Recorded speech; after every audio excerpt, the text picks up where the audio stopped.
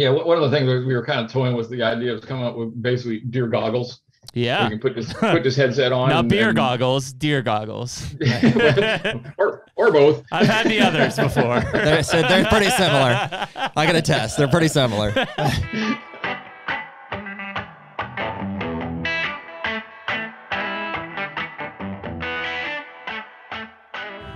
HUNTR Podcast is brought to you by DeerGro.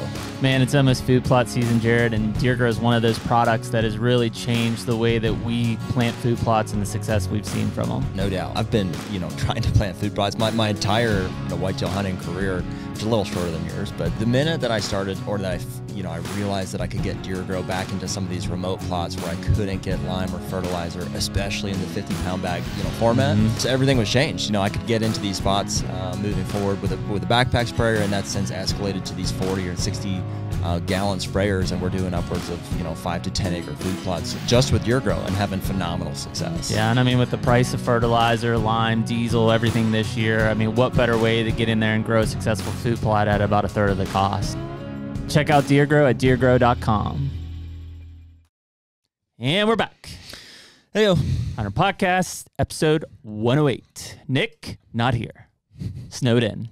Snow day. Not snowed in from WikiLeaks, but snowed in. Didn't That's right. Yeah, no, I'm with you. Come on, stick with got it. Uh, it is December 22nd. If you're listening to this, it's sometime early 2023. Welcome to 2023. If we didn't say that last podcast, because I don't know when this is dropping, but uh, we're going to do a better job of trying to get uh, more real time here after the holidays. So, probably the next podcast that you hear after this will be like within a week Getting closer. Yeah. tighten them up tighten them up um yeah because we may have done your kansas double double dip post thing We'll figure it out. When it drops, it drops. We're trying to get better. drop it like it's hot uh anyways uh i hate to be like the grinch of the holiday spirit but it's also from a hunting standpoint we're like winding down Yeah, definitely winding down. Um, it's cool to see some survivals, uh, uh, survivors. In fact, uh, that that big eight from behind the house was on my camera at six fifteen this morning, Mm. working through the food plot. You give him another shot. I'm gonna try to kill him with a trad bow. Mm. I'm a, uh, I bought The one you just got in the mail yesterday. yes, Yes. uh, yeah. So I bought a Hoyt Satori uh, recurve, which is awesome. I forgot to bring it today. Sorry. Um, it's awesome. I did shoot it last night under the lights too. I like couldn't wait. I was like, "Ah, I gotta go out. Mhm. Um, and I got uh, Easton Axis Trad carbons, so they look like a wooden arrow with feathers. They are feathered, but it's actually a carbon. I've got a hundred grain insert on that he- on that front, 150 grain. The uh, arrows came fill pre-built. I had them pre-built from Three Rivers Archery. Okay. Uh, so they're like a trad recurve specialty. So yeah, so they cut 29 three quarters. Um, they put the 100 grain brass insert in the front, and then I got I've got 150 grain field points, but I'm going to end up shooting the um, Magnus Stinger 150s out of that. Cool. So I think I calculated it. I'm sitting at about 18 and 18.2 percent FOC on that thing. Yeah. You shot it last night. Yeah, How was that? uh, 50 percent kill rate, At 20 yards. 15 ish. Yeah. Yeah. Does it seem like It zings are you faster. catching catching on? You're like, okay, I can yeah. I see where I'm aiming, or Yeah, I'm. Um, yes, I, I was. By the end of it, I was getting better. Um, I also don't have my um my glove yet, so like Right. it.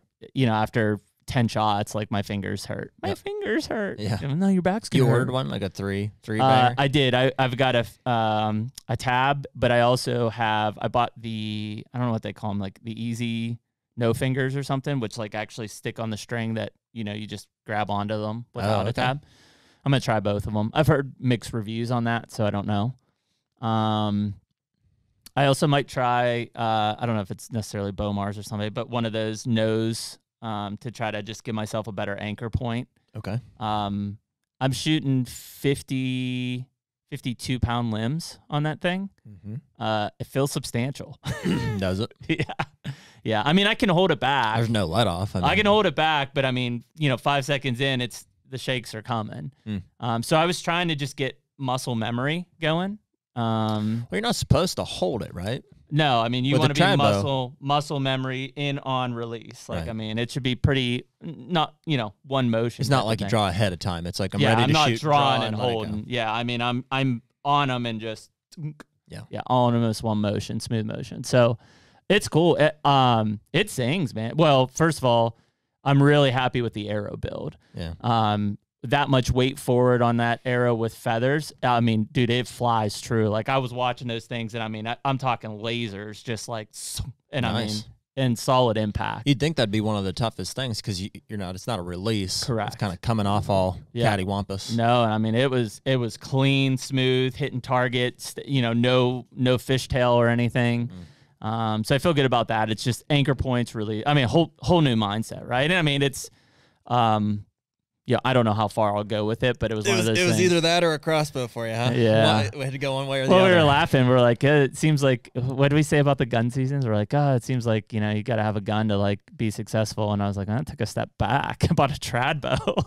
Yeah. No, I can see why you did that. Though. That- Um, that would be appealing. Yeah, I, I kind of just uh and I mean late season for me is um the kids don't really hunt much in the late season and dude it's uh, you know a few weeks except for Ohio we've got a lot longer.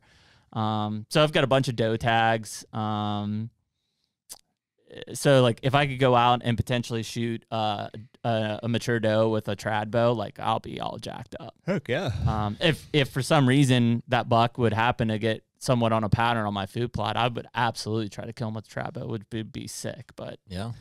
you know, I, I'm How, trying how to tall is it?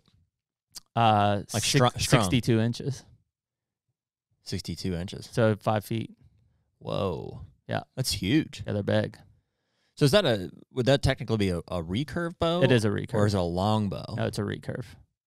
Yep. It's got uh I've got I got the 19 inch riser. So they make a 17, 19 and 21 inch riser. 17 is like kind of the hunting one. Um, but I've had I've heard mixed reviews about smaller risers and just the the ability to to shoot smoother on it. Uh-huh. And I, you know, it was a week of looking at forums. Um, 21 is more of your target riser. Right. So you're Uh, just in between. I'm in between, and then um, standard medium si- medium length limbs on that one. You could get shorter limbs, I think, but um, accuracy wise, and and even just you know the ability to to get some extra oomph out of them. I want medium limbs. so I wonder how that works like you know when you're shooting down What you mean? like out of a tree stand like when you're angle like Like that? Yeah. because there's lots of times even with a cam as we just kind of got into mm-hmm. uh you know there there's uh it can hit off of stuff i wonder how you would take a traditional bow Oh, I know. It's. Oh, I think it's it's that angle. Like, I mean, you're you're not shooting straight up and down. You're shooting because you want to keep it also on the shelf. You're shooting at like a I wouldn't say a 45 necessarily, but you're shooting with that bow on an angle so it sits in that shelf. so there's no rest on it no, it's just a bare shelf. Well, it is. Um, Hoyt's got like a, a shelf spacer so that it centers the arrow on the shelf. Okay. Um, which I probably need to mess with that a little bit, and then it's got like um, uh, I don't know, almost like not Velcro, but but some sort of like fuzzy shelf kind of thing that helps your arrow sit in there, but doesn't cause any friction coming out. right Um, whisker biscuit Yeah, not a whisker, but not that stiff. same Um, same same, same. Yeah. So yeah, I, it's just gonna take you know, and I don't know. I, I mean, I won't. Um, it'll be sometime. yeah just start the- messing with it It'll be. I won't go. Actually, the probably the first place I'll hunt with it, if my schedule looks right, is gonna be in Kentucky. I'm gonna go try. I'll be in Kentucky for four or five days around the New Year. Um, so if you're listening to this, maybe you see pictures of me killing. I there's Better- you better get practicing I've been, yeah. Well, dude, I literally got it in the mail last night. I put it together. It took me 10 minutes to figure out how to string this thing. I haven't shot a recurve since I was 14, you know? And then I'm like, is this right? Is this, I'm looking at the string. I'm like, is this thing long right, enough? didn't you ever get a summer camp no. that's, that's muscle memory for me string, No. stringing bows no, I didn't go to summer camp. Yeah. Uh, so yeah, then got it all. And then like, you never went to a summer camp no, oh man sorry no. Yeah. like heavyweights or uh, yeah but you know just not not for fat kids necessarily um, so yeah, I threw the block target out like 15 yards, and like I would run out and set my security camera off so the light would come on, and then I'd run back Mm, and mhm, shoot. mhm. Yeah, How many arrows you got? A dozen. Yeah. Dozen pre-built. Speaking of that, it's the twenty. I got to make arrows for Dad for Christmas. That's, that's Mm, my gift. so yeah, I'm pretty stoked about that. Um, other other than that, uh, I closed on a farm yesterday. Bought a farm Yeah. Yesterday. Congrats. Uh, a lot of people have been asking if that's coming back. It is. Uh, Jared and I just have to work out some schedule stuff, but we are going to bring back the I Bought a Farm probably in 23, early 23, as we start getting back into habitat projects and things like that. And um, you and I are potentially looking at buying a farm together here in the not so distant future. Mm-hmm. So we just kind of are looking. Um, been looking. been looking. Um, so yeah, I mean, I don't know. It, like I said, it sucks that the season's kind of winding down. If you're in the South, which if you're listening to this podcast, you actually might be in the South. Um, it might be cranking uh, in your area, but for a lot of us in the Midwest and Northeast, it is winding down. So uh, that said, um, you know, I would say there's probably. Mm, I won't put a number on it. Handful of guys uh, in my background who like were I would say mentors that I kind of looked up to when I was going through school for for wildlife management and stuff. And you know we've had several of those guys on. Uh, Bronson is obviously one of them. Bronson Strickland, uh, Craig Harper is another one. Um, I'm sure we'll have my professor Steve Demarais on here at some point from Mississippi State. Dave Samuel is probably going to be on here soon. Uh, this guy though, uh, Dr. Karl Miller is our guest today from University of Georgia, Pennsylvania born, born and raised guy up in Elk County in the big woods. Um, and you know, uh, one of the guys, much like Bronson and Craig. uh, So here's what I love about these guys is that they're deer geniuses, right? Which you'll find out today. Karl's got a plethora of knowledge in multiple subjects, but they're hunters, right? I mean, like what they're doing has practicality to us as the general hunting public. Um, and and that's no knock to some of these researchers who don't, but it's just hard, man. If you if you don't hunt and you don't understand the applicability of it, you could come up with some great research, but if it's not applicable to the general public who's out there doing the hunting and doing the management aspect of it, you know, it's cool in in literature, but uh, it's a lot cooler when somebody can actually take it and apply it practically to whatever they're doing. For sure. Um, and so, you know, Karl's uh, research at the University of Georgia has covered deer vision, uh, scrape communication, um, you know, different scent behaviors. I mean, it's it's just a long list of of big topics that I think are extremely important to us as as deer hunters and deer managers. And uh, yeah, be really cool to get him out here and and talk about it. Let's bring him in. Do we have you? Hey, what's up, man? Hey, you are. How goes it? Good. How are you?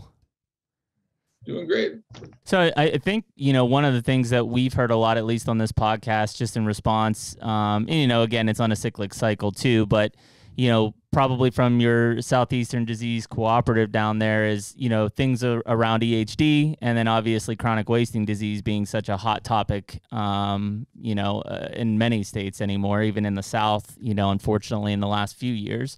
Um, you know, is that something that that you've seen in, in your kind of career there really pick up? I mean, there's probably always been different wildlife diseases that have come through and been studied out of that that base, but you know, especially maybe in the latter part of your career, just with I, I don't know if it's just because people paid attention to EHD and things like that more, and then obviously more of the onslaught of of chronic wasting. You know, EHD was actually the impetus for the development of the Southeastern Cooperative Wildlife Disease Study at the vet school at Georgia. Hmm. Because it was back in the days of restoration when they were restocking these deer herds and then they were having these massive mortalities, you know, the, the deer drop, drop, dropping dead. And they called it uh, the disease X. They didn't killer X. They didn't They know didn't what it was. What it was. Huh. So that that developed into the Southeastern Cooperative Disease Study, and they've done you know be, between the, the scientists there, Stallknecht and a bunch of others, they have done a tremendous amount of ide- identification of you know, this disease. We probably know more about this disease than any other d- disease in white-tailed deer. Hmm. But it still continues to surprise us somewhat because of some of the expansion into the northern and western states uh, and how it's affecting herds up there compared to how it does in the southeast. You know, in southeast, it's more of a chronic thing. Yeah. They will have some every year, and you know, we, we lose some deer, but we don't lose we don't have these massive die-offs like you would see up like we saw in the Midwest a couple a few years ago. Yeah. And we're starting to see some of the movement uh, northern areas as well, moving into Pennsylvania where you know it was unheard of before. We've now it's there. Yeah, we've seen it at least two times probably in the last 10 years, I would say. Pretty pretty stout here in the southwest corner of Pennsylvania. Right. And you know what what is the what is the driver of that is probably related to the vector, the the, the no-see-um midge, the little culicoides that may have might moved north and was able to carry that that disease and spread that disease. Uh, you know, we we haven't had the cold winters up north as we used to have as well. Yeah. So, you know, I, I always don't like to get into the camp of global warming and all these Sure. that controversy and stuff. But you know, we do know that things have moved further north. Right. But then we also know that things have moved further south too. We know the woodchucks have moved, expanded their range to the south. You know, so is that global cooling? Cooling? I think it's just that the habitat has changed and allowed uh, these these organisms to move.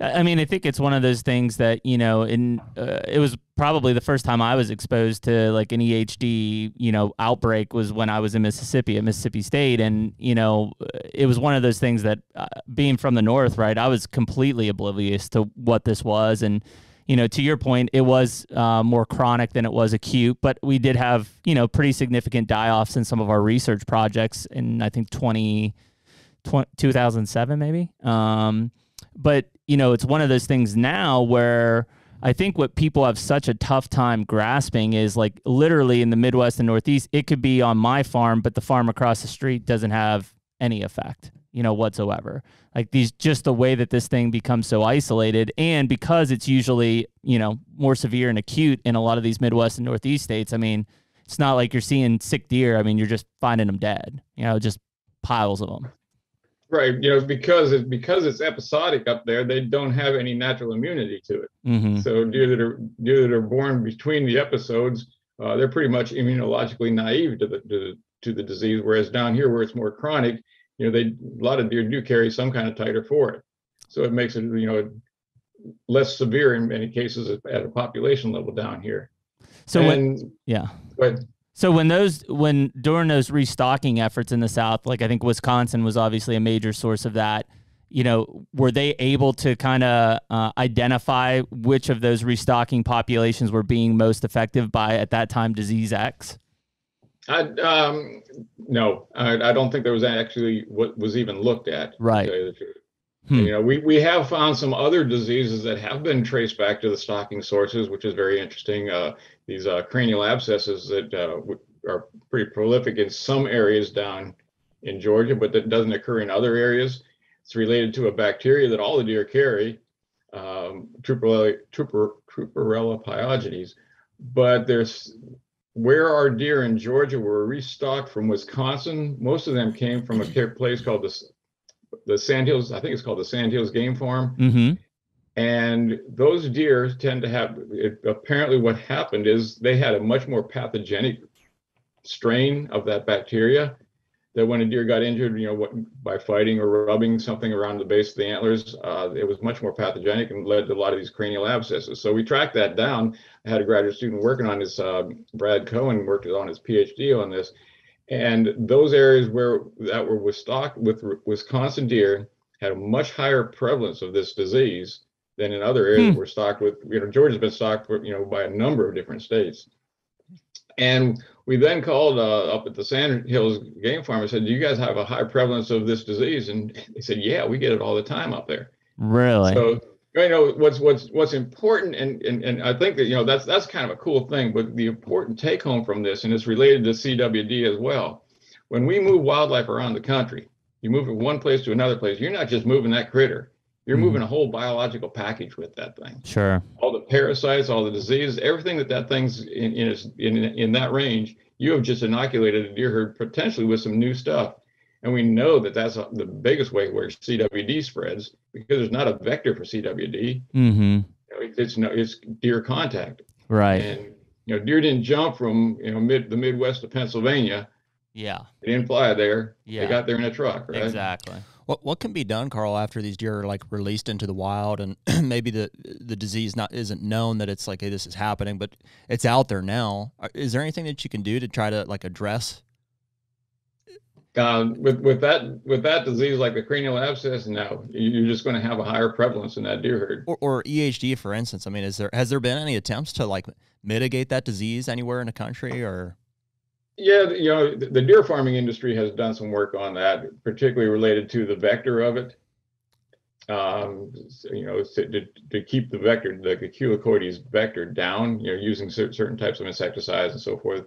Uh, okay. We did it in Mississippi State. I literally Emily and I would drive around with a ultra low volume fogger in the back of a side by side, spraying uh, what permethrin, you know, some mm-hmm. some deleted, and like we would fog the pens basically every evening. Now, whether that actually had a landscape level effect, probably not. But the goal was to have some sort of localized effect on that. Uh, right. You're not you're not going to do anything to a deer herd. Exactly. So, no. I'm sure it's been like a, to- a topic of conversation among, amongst like, you know, your guys as far as uh, distributing medicine. Essentially, is the way like vaccinating a deer herd. Essentially, like in a, in a certain sense. I, I'm sure it's been discussed about how how would we do that, or I've even thought like on our farm about, you know, we see all these ticks hanging off of them, and we think, oh, it has to have an effect on you know their antler growth and stuff like that. So I can't be the 1st mm-hmm. person that's thought of like, hey man, how do we how do we apply medicine to a, a wild deer herd?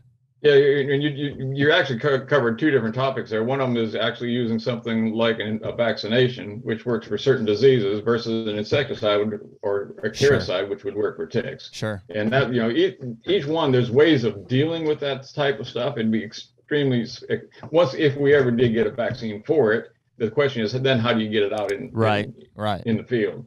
You know, we've done that with rabies vaccine. We inundate places with rabies uh, uh, vaccination pellets to to try to control rabies that way. Uh, could we do it with whitetail? You know, if it's not if it's not a human health concern, I wonder whether they would put the money into it. First of all, but first we aren't there yet. Mm-hmm. We don't have a we don't have a vaccine for CWD, and we may never have one for CWD. Right. We've had a, we've had some limited success with some of the work uh, that we were associated with that was done at Colorado State with a vaccine, but that was very limited success. Yeah.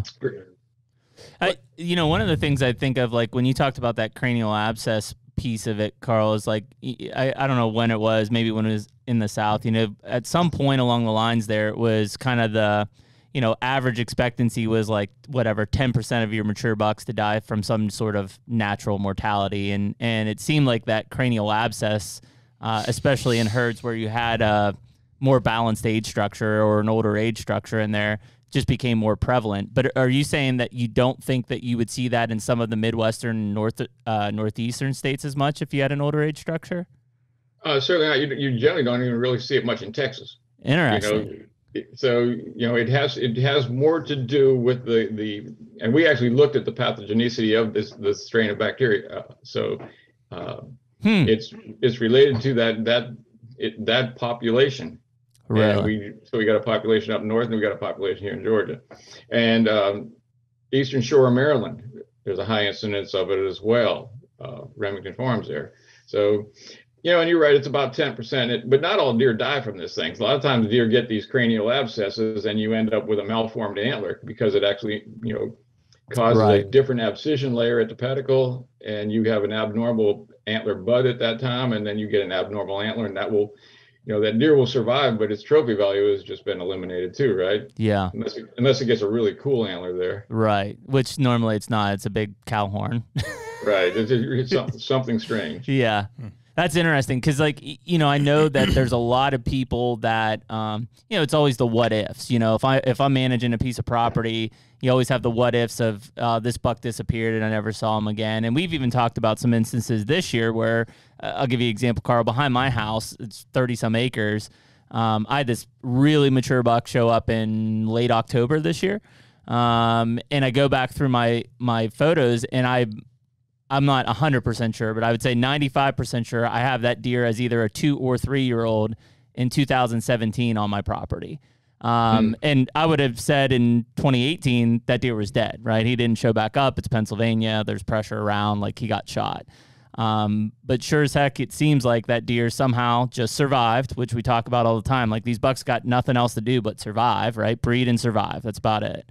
Um, and, you know, it seems like he makes it through. And I think a lot of people would be you know, either writing a deer off quickly to whether it's deer vehicle collisions.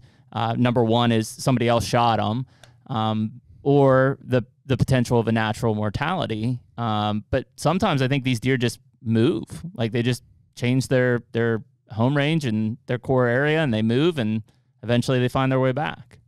Yeah, I, I think you know some of the work that's been done that we did at Georgia, and actually some of the, one of the studies we did at up in Pennsylvania in the big woods up there. We had some radio collars on some mature bucks up there. But we had some studies that, you know, all across the Southeast. And Mississippi State has done some of the very similar work as well, mm-hmm. uh, looking at the movements of these mature bucks. And there's a certain percentage of these mature bucks that have home have bimodal home ranges, spring summer home ranges, and then they have breeding winter ranges. And we had one buck in Louisiana that traveled between his home summer home range and his breeding range, and I forget what date it was, like October 3rd or something like that. Uh, he just picked up and moved uh, five miles straight line distance, settled down into his his uh, breeding range. That's came wild. back that following March. The next year, he moved on the exact same day again. Hmm. And now I, I don't know how he did that, whether it was probably just fortuitous that it was, right. but, you know, because they don't carry a calendar, but you know, it was the exact same date and he went to the exact same location. Hmm. So we know there's a fairly major shift going on on these deer herds. Uh, in the, in, you know, we know deer, the bucks change their movement patterns in response to the rut, but there is some, there's some shifts in these animals that go to an, maybe an ancestral rutting area, uh, someplace that they were much more familiar with which has some pretty important implications for doing a September camera survey, right? Exactly. That's what I was going to say. I mean, you survey an entire population that, you know, who knows how much percent of that is actually going to exist in that same area come the time you're actually holding the weapon in your hand. We just had a paper published uh, based on some some camera survey data where we used both uh, active cameras and passive cameras uh, on a couple 3,000 acre properties. And uh, James Johnson got it. That was part of his PhD work. That just we just got that published just a couple couple days ago. Anyways, that there was a tremendous shift in the buck population across that land 3,000 acre landscape. Hmm. So if you had, you know, if, if we broke it up and you had one corner was for your hunting lease, it was 300 acres out of that 3,000. In September, you would have thought, oh my God, look at all the bucks we've got here. Yeah. But by the time the rut rolled around, they weren't there anymore. So what happened to the, you know, those guys were thinking those bucks just disappeared. Yeah. You know, those bucks just moved. Versus this other guys over here that had their their um their trail cameras were their camera survey was telling well we got a lot of does but we don't really have any bucks. Mm-hmm. And all of a sudden, yeah, bang! You know where did these deer come from? And, and how it, often do you hear that when people are hunting? You say, oh, I had no clue that deer was in the area. All the well, time. he wasn't. Yeah wasn't in the area. He was a newbie. Is that a? Are, are you associating that purely to a breeding draw versus food or anything else?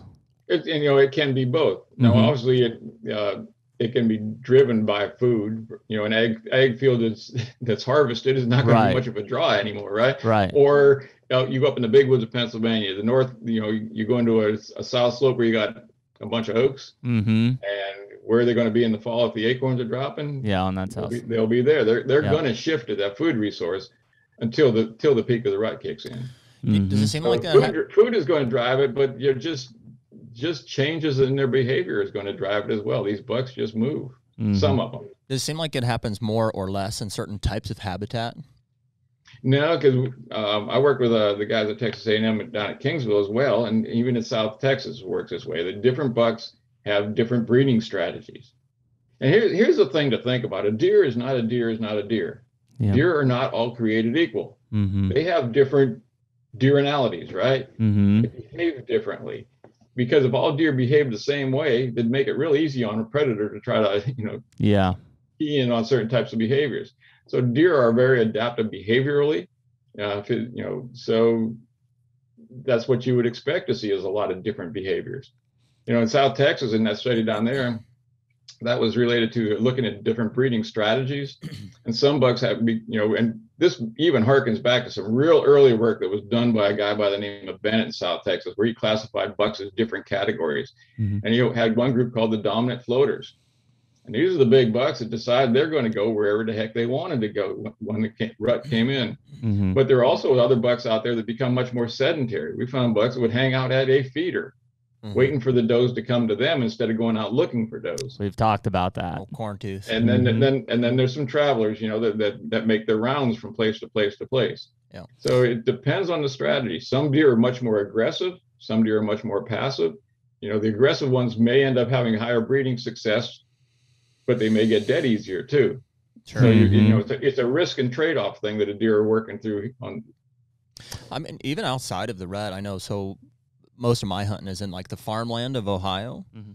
and uh, I mean, it just seems like a, a constant transition from. Honestly, the entire like five or six months that, that we're monitoring, like with trail cams, like the bucks that we have in July, typically we'll see kind of through September, and then we'll have a, a group of bucks that show up like kind of for October, like October through mid October. So that's like your, your hardhorn October bucks. And Mm-hmm. then even those bucks seem to to kind of disappear come mid October. We seem to see another shift into like your your really your rutting, which goes all the way through the end of December. And then towards, Right. towards the end of December, we start to see really hard shifts towards remaining food because most of the, the stuff's been cut. Um, so it's kind of like constant, like throughout the season, you've got new bucks showing up and, and also disappearing. You know, so we're kind of having to like look back and say, okay, you know, this buck is hopefully he'll show up around the first of October, but likely he's going to leave again, you know, or early or or mid in October. And so we're having to be Mhm. kind of like uh, Yeah. trying to predict who, who's going to show up and who's going to leave, and and you know the window of opportunities we're going to have to hunt them. Yeah, it's, it's, it's interesting also when you know you, a lot of places have you know a couple hundred acres to hunt or your their, their lease is a couple hundred acres 300 400 acres and they do all this habitat work and they're not finding the success of getting the mature bucks Yeah. what that speaks to is the importance of working with your neighbors as well you know And I think that's these- the big part, Karl. Is you've got tons of people, including myself, listening to this thing and saying, you know, I'm a like I'm a full year, you know, management guy. Like I, I'll be cutting at some point here in the next few months, and then I'll have spring food plots in, and then you know, in some cases, if I'm in an area with no ag, I'll put summer plots in. But then you have to question all that to say, you know, is that really because all it comes down to is depending on the state, but let's say September, October, November, December, and that's it. Like if the Bucks aren't there in those four months, that's great that I had, you know, two booners running around in August, but if they never are on my property from opening day of the season till the end of the season, like almost what good is that for me? yeah and you know what what the goal then is is you know how do we keep how do you keep them there Yeah. and you know i, I think a lot of people underestimate the importance of having sanctuary areas Mhm. places where pe- these deer are just not disturbed they learn that you know they they they know you know how many times have you heard of a really big mature buck being killed in a place where nobody would ever conceive of hunting for that mature buck Yeah. he got big and mature because he did something different but he wasn't disturbed there as well Mm-hmm. so that allowed him to get older you know this 10 year old kid that killed one behind the barn Yeah, You know? exactly. Yeah, no, I think that makes sense. I mean, that that's where I think a lot of people, you know, and there there obviously are plenty of consultants out there that'll throw different stories at you of what to do. Don't plant summer plots. Do plant summer plots. You know, only focus on you know green fields. You know, make sure you're doing cuts, whatever. And you know, I think that that's where like in today's society of how much information is being thrown around out there on the internet, it's like you know, no wonder most of these people who own property and are trying to do something and have their head spinning. Yeah, you know, and they're also the ones that are riding around on their or on their four wheelers or or their, their side by sides, you know, and For sure. taking walks in the woods, doing all kinds of stuff, disturbing those woods. You know, deer can get used to disturbance, Mm-hmm. but if they have a place where they're not going to get disturbed at all, where are they going to where are they going to camp out?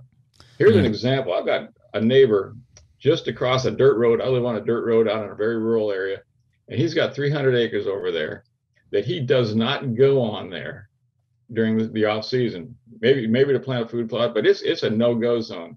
And when he does go on, he's the only one that will hunt it.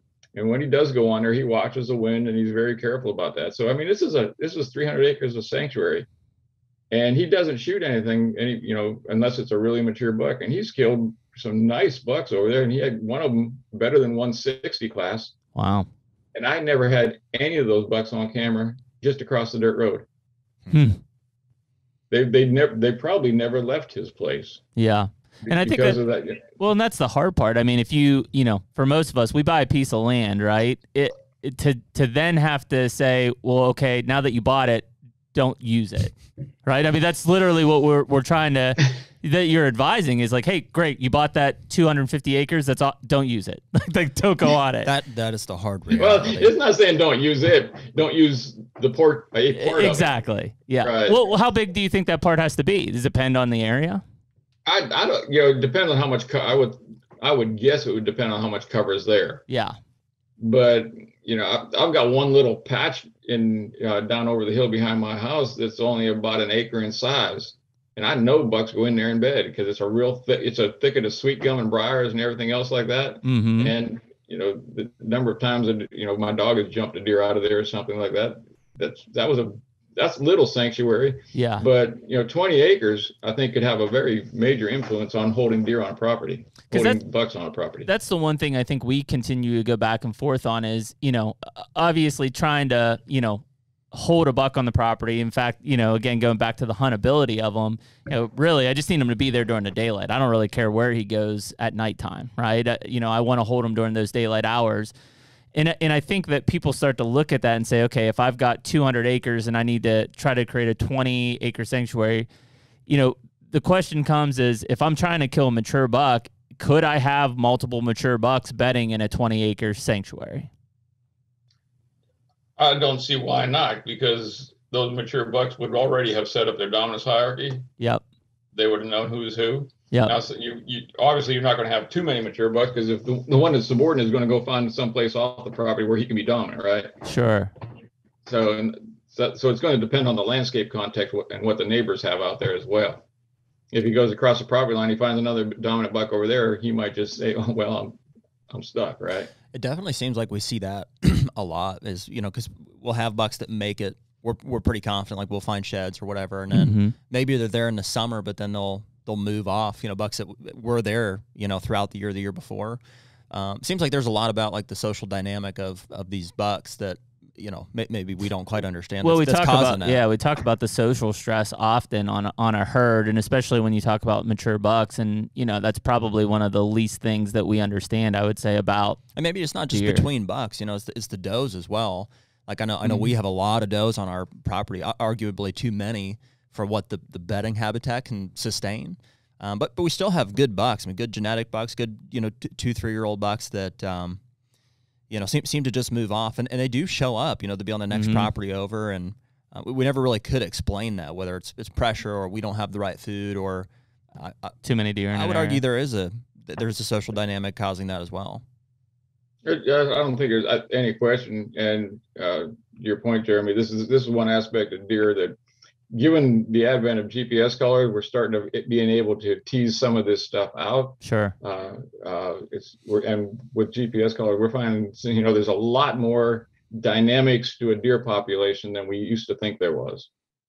And that you know they're, they're much more dynamic in their movements across the landscape and how deer diff- utilize different habitats, uh, how much they actually do move Mhm. you know this whole idea of, of buck these excursions that these bucks make in the springtime we Yeah. never knew about any of that stuff before we don't know why they still why they do it but you know they can take off for a day two or up to a week and just go walk about for you know a while and then turn, return right back to their home range and never leave again Yeah, and I'm yeah. So because I mean, what are, maybe they're they're scouting an area, you know, per se, to to find a, a spot where if they lose their dominant area, they can. That's another alternative, right? A backup plan type of thing. But yeah, it may it may be they're, you know they're testing out maybe they just went, wanted to find a new place and they walked for about six or eight miles and hey it's not getting any better i just had a good enough at home i'm just going back home you that's know? like Jared when he was looking for a new spot in Allegheny National Forest. He walked seven miles and ended up back in the same tree stand.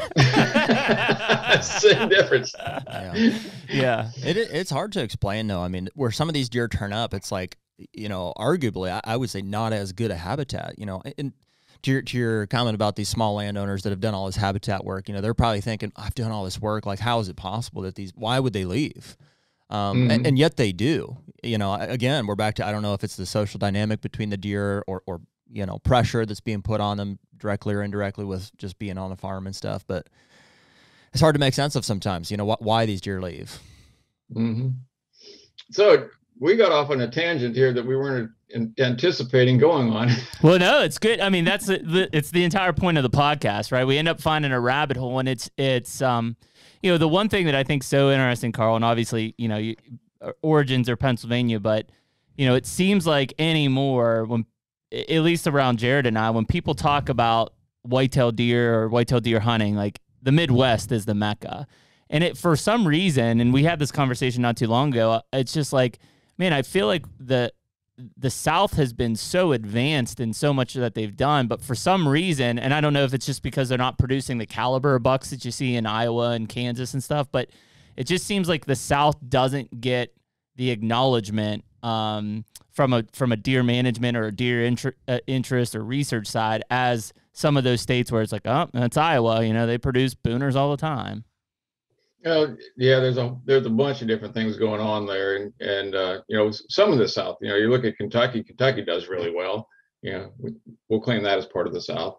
Uh, yeah. And you, I don't know if you've ever looked at the uh, the Boone and Crockett map of Georgia versus you know the Southeast versus the Midwest. Yeah. You know, everything's red out in the Midwest and up in Wisconsin and so forth. And you look at Georgia, and Georgia kind of stands out in the Southeast. Sure. But there's quite a few of those counties colored in as well. Yeah. But uh, one of the things that a lot of people don't realize is those are the number of buck, uh, Boone and Crockett bucks that were killed on a county basis, just an absolute count.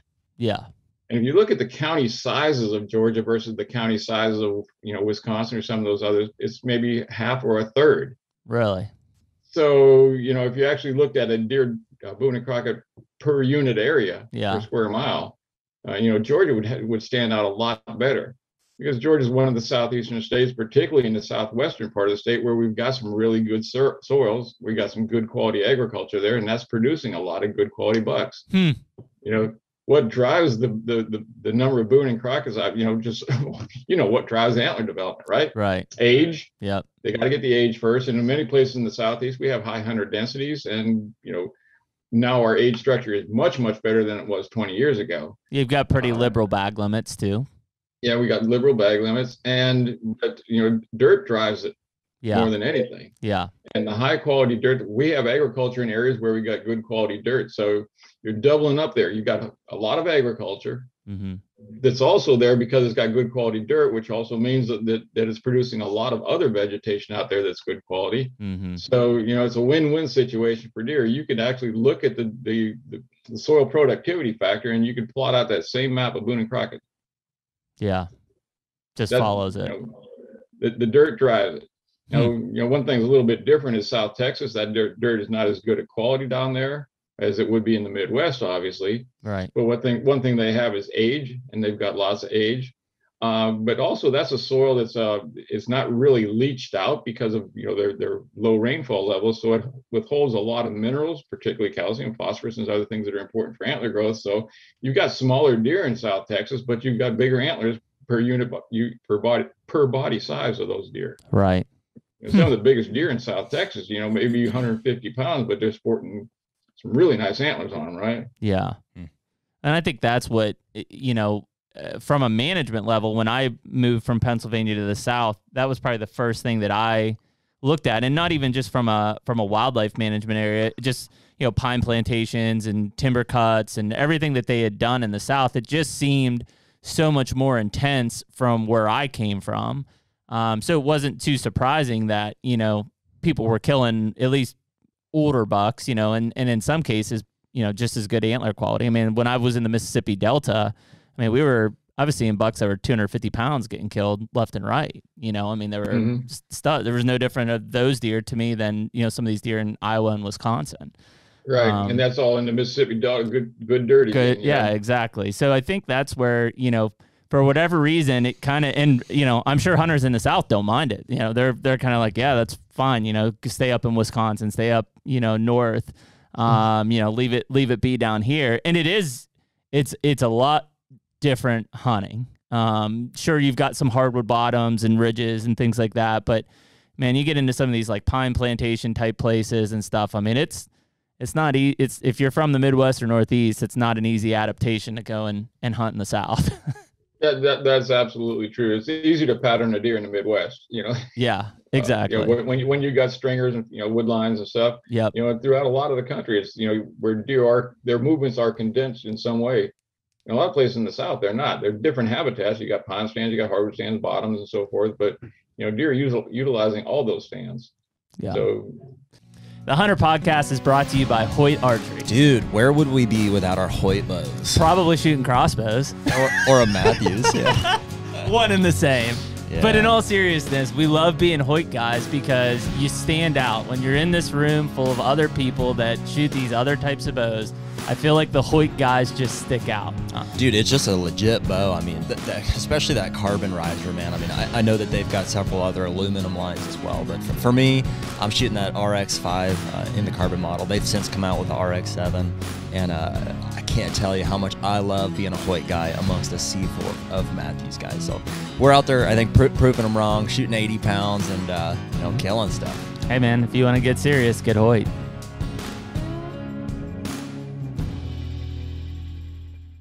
I want to I want to touch on vision here in a second, Karl. But one thing that um, I saw the other day, and I don't know if I think Bronson probably put it out on Mississippi State's thing. I'm not sure if you saw it, but they they had surveyed basically um, I don't know a specific population of Mississippi, and they were looking at the frequency of scrape use. I think from different age class of bucks. Do you happen to see that one that they put out? yeah, Um, and so, uh, and I think I'm assuming Bronson did it, but you know, I think he openly admitted that you know that um, particular herd that that they were probably surveying was younger than you know having a more uh, older age class kind of balance there, but you know, it still seemed very uh, apparent that I think maybe it was two and three year olds or two year olds especially were like the overwhelming majority of of scrape use um, in that population. And you know, I know I think you guys have done some scrape research in Georgia, and and you know, I think that's one thing people. I don't know if they are over hunting scrapes or overconfident about hunting scrapes, but in terms of you know, you get that mature buck on a scrape, and you just kind of want to believe that he's going to come back to that thing frequently, and at least per their research, doesn't seem like that's the case. yeah. There's a, there's a there's a couple aspects of that that you know that scrape research could be a whole podcast in itself. Um, that was actually what I did some of my dissertation work on is looking at you know bucks and scrapes and who was making the scrapes. And at one time we thought it was just the dominant buck in an area made a scrape and and all the other ones were just stayed away from it. Well, we've since learned a lot, you know, that that's not necessarily the case. And any individual scrape could be used by a number of bucks. Mm-hmm. Back in the 80s, uh, a couple of my graduate students, uh, Karen Alexy and Jo- Jonathan Gassett, were were were putting a motion sensor video cameras over some of these scrapes. This was before the day when you could buy those things. We Oh, actually yeah. made our own. You know. And you had to print out the film, right? You got to go to the Kmart and get it developed or whatever. Oh yeah, we had we had actual video cameras in those things in, in a, in a Holy five gallon! Wow. in a five gallon bucket. so that's how old this research was. But we we put them out over what we would consider was going to be scrape sites at some point. yep. And we were really surprised what we found is, you know, we we had as many as 13, 14 different bucks come into these any individual scrape. You know, so these animals are using it. We found bucks using multiple scrapes. We found uh, scrapes that were no more than 200 yards apart. The different groups of bucks were using those different scrapes. You know, there's a whole different, whole dynamic going on with the scrape use as, as well. And we actually had some mature bucks killed within sight of our cameras that we never got on those cameras uh, on those scrapes. Why Hmm. did they come to those scrapes? You know. Hmm. And I think you gotta be careful sometimes when you're doing some of this research when it's looking at who's using those scrapes. There's certain ones that will come in and work that branch. Yeah. You know, and that branch is used year round in many cases. Um, you know, paw and leave leave the urine spot there. But some bucks may just check those scrapes, just wind them and go on. I think that's the thing that most people fail. I mean, because we talk about it all the time, especially now with cell cameras, like how uh, dependent we are on that information that's being passed directly to our phone, basically in real time. And if it if that buck's not hitting that scrape and your stands on it, you're just like, well, he's not there, so I'm not hunting it. You know? Right. And he might be behind the camera. Yeah, Right. exactly. And the other thing we found is that, you know, not surprisingly, that over 90% of scrape use was at nighttime. Mm-hmm. Yeah. You know, so hunt, hunting scrapes, you know, back in the 80s, hunting scrapes became the big thing. And you, had all these outdoor writers coming up with things like territorial scrapes and boundary scrapes and breeding scrapes, and they had all these different types of scrapes. And I think these bucks are out there going through their playbook. Okay, what do I need to do here? To what kind of scrape should I build here? You know. Yep. You know, bucks are just all they're doing is leaving a calling card that indicates their presence in their absence. Mm-hmm. Yeah, I mean that's what it comes down to. Yeah, and I think it, you know we've always tried to say, okay, uh, maybe it's playing a weather condition like an October front. We're like, all right, that buck's been hitting this scrape, this front's coming through. Like he, there's a good chance. And I mean, you know, per per that, I mean, maybe he hits it, maybe he doesn't. I mean, is there data that uh, says fr- like frequency? I, I know you're saying ninety percent of it is at night, but like in a in a concentrated time frame of let's say, you know, the last two weeks in October, how many times a certain buck will hit a hit a scrape, or how many scrapes they're hitting, or anything Uh, like that? Typically, you get your your your peak scraping activity is going, going to occur in a deer herd two weeks in advance of the peak of the rut. Mhm. So if you have all of a sudden you just have this explosion of scrapes, generally it's going to be sometime in most areas around the end of October, Mm-hmm. and you can pretty much count on the rut, the peak of the rut falling about two weeks later. That's when most of the does will come into estrus, and there's very likely some communication, some chemical communication going on between the bucks and the does. That's you know, sync, you know, synchronizing estrus and synchronizing readiness in these bucks. You know, Mother Nature's by design wants all those fawns to be born at the same time to swamp the predators, right? Right. So Mother Nature wants a very concentrated rut, so you have a very concentrated fawning period. And the best way to concentrate that rut is first is driven by photo period, Mm-hmm. but even within those photo periods, there's a there's there's you know opportunity for for leeway there.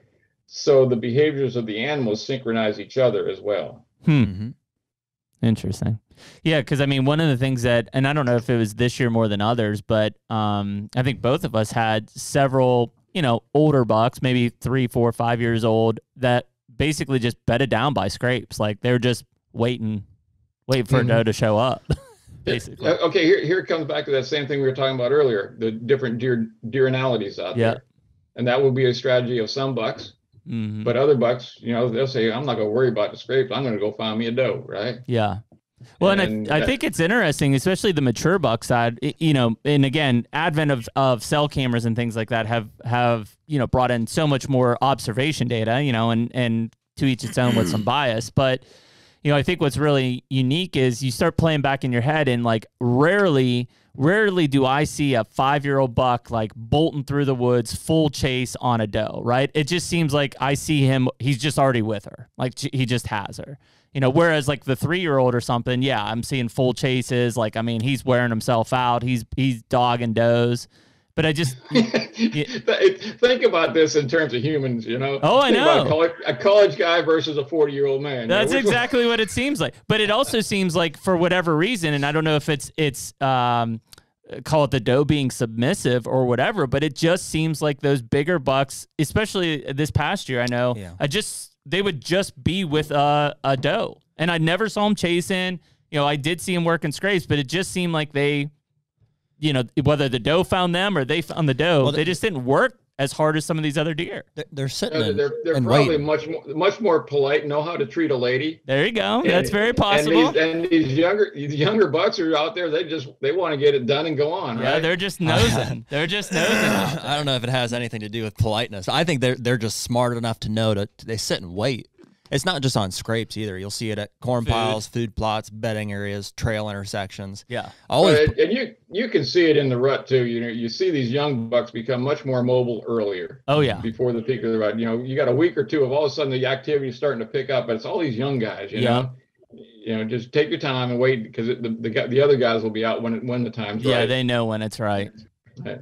Interesting. Yeah, I mean it's it's one of those things that you know you've heard we've heard a lot of people, especially as you're approaching you know the right time, that they're just like, hey, you know, I know that this is where the does are, and I know he's just gonna probably at some point mosey down in here and just say which one's ready. You know, and that's just Yeah. kind of how he is. Okay, Okay, here's here's another thing to think about though. Uh, those bucks that are young at two and a half and three and a half that are real aggressive on these does that are chasing these does Yep. Also probably have a higher mortality rate than the ones that don't do that. Mm-hmm. So the ones that, that, that don't do that, the ones that are kind of slower, more with you know more po- more polite, we can Yeah. say, those are the ones that live longer. So it's not maybe maybe it's not that they change between two and a half and four and a half, Mhm. Maybe that's the, the ones that survived, or there's just a higher percentage of those that survived at four and a half that act like that. And so Or that's ju- that's just deer personality, basically, not necessarily anything to do with age. Yeah, well, and I think it's probably a little bit of both. Okay. It's just You know, probably per- person- personalities do change with age too. You know, Sure. You're, yeah. you're not the same guy you were at 19. No, I'm not. Interesting. Yeah, I mean, you see that a lot, especially, you know, getting towards the end of the rut. You know, they start to figure out that d- the does are Mm-hmm. Are coming to a certain area, Mhm. and, and so they'll a, a lot right now. If you see them, just they'll come out and bed on the edge of like a food plot, and they'll just wait and watch. Sure. And then when something comes out, they'll get up and go check it out, and then Yep. Go back. if it's nothing, they'll go back. And hmm Crazy.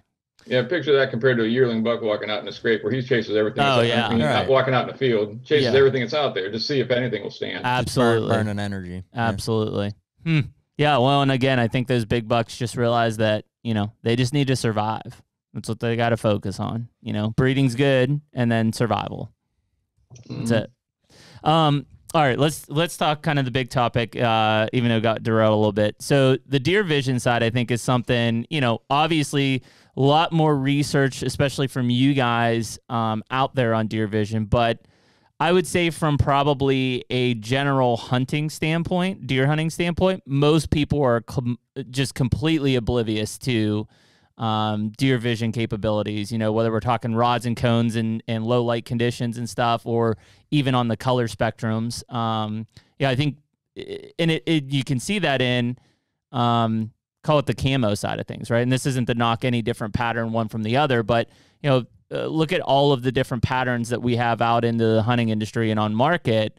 Um, you've got some that are more open based and kind of break up. You've got other ones that are more, it looks like a, a tree, right? I mean, that's what it's trying to mimic a tree or a branch or whatever. Um, it, maybe I know this has evolved a lot since um, since Gino's research, which what would that have been? Two thousands for Gino. Yeah, it was. It's, it's, it's been a while. Yeah. And so, uh, you know, maybe just kind of chime us in on some of the even the more recent stuff that you guys have started to find there, because I think it would open, no pun intended, the eyes of, of more people listening to this thing um, from a deer v- vision. Because we talk about breakup, we talk about concealment, we talk about, you know, uh, stand placement, and all of these things are so critical. And yet, um, they're all based on deer vision, which we probably don't have as good of a grasp on. Yeah, and you know, a couple of things to say in prelude to that is, you know, so many hunters are always concerned about, you know, there's there's their scent Yes. and and scent minimization, but they'll stand up and in their stand they'll fidget and stuff like that and wear wear the wrong camo or something like that as well. They don't they don't understand the importance of vision for deer. Mhm. Remember what deer do. Deer do one of three things, and everything in their brain is revolves around those three things. Those three questions that they ask themselves every day: How am I going to? Uh, what am I going to have for lunch? How am I going to keep from being lunch? And how am I going to make another one of me? Which means how do you how do I exist in a social environment and, and you know related to breeding and so forth. Mhm. So all their senses revolve around that as well. We have a very different, uh, you know, what we do with our senses is very different than what deer do with their senses. And our our our different senses, particularly our sense of vision, is highly adapted for what we do, but it would be very very bad for a deer. You know, if we had deer's eyes, you know, we couldn't do what we do, and if deer had our eyes, they couldn't do what they do. Mhm. Their eyes work for them for those three reasons. Mhm. How do I avoid predation? A little bit about how they find something to eat, but that's not very important for them. But how do they move through the woods? And some in communication as well. But probably the most important thing for deer's vision is predator avoidance Mhm. because they need to detect a predator before they become a prey. Mhm.